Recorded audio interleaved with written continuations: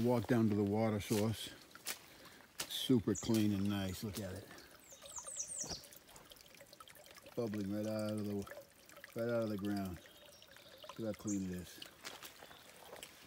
It's about four tenths from the tent, but it's a nice water source site.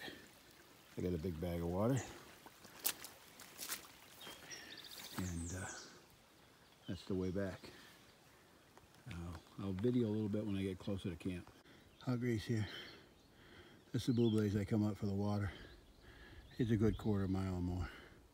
Maybe a third. It's a long ways. But we're camping in this field. The guys, sorry, the guys found a spot right there that's pretty flat and they're happy with.